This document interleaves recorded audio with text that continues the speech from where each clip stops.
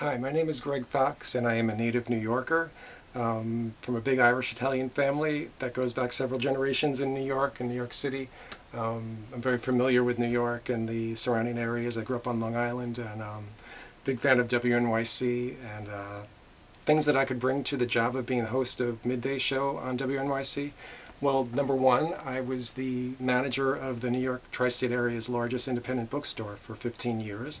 So in that time, I dealt with a lot of uh, celebrity author signings, and also not just celebrities, but all sorts of authors, from first-time authors to mid-range authors to big-time authors, and then just pretty much any movie or TV star who put out a biography over the past 15 years. Um, I dealt with them, managed the events, and you know, as they came in, dealt with the person and introduce them to the crowd. So I'm very used to dealing with celebrities, and then not just celebrities, but uh, also politicians, because that was another big thing we had at the store. We pretty much every politician who put out a book over the past 15 years. I also oversaw their events and dealt with them as they came in. Uh, we did Bill Clinton twice, and Hillary Clinton, and Rudy Giuliani, Mitt Romney, and a lot of other politicians too.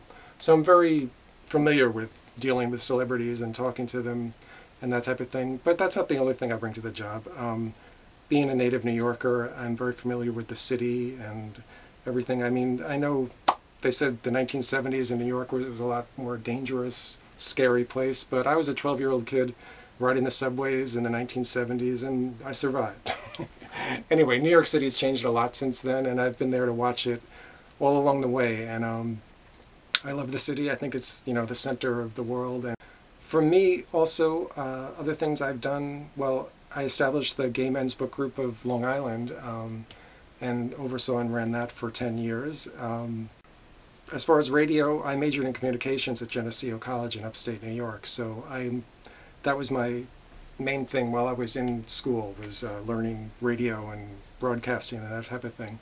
Um, after college, I actually got into rock band for several years and I worked in the whole music scene in New York too. Um, so I'm very familiar with the New York rock music scene and everything that's going on in there. And then also I've worked in comics. that's my other real specialty because that's my side job at the moment. I do comics um, and I'm very familiar with the whole world of uh, graphic novels and the various comic artists who are out there. So I think I bring a variety of experiences. I probably haven't covered everything in this little brief video, but um, anyway, just want to let you know I'm very interested in the job and I think I could bring a lot to it. But I just wanted to say I love WNYC. I would love to be a part of the midday program and thank you for uh, taking a moment to listen to this. Anyway, this is Greg Fox from Midday on WNYC. We'll be right back.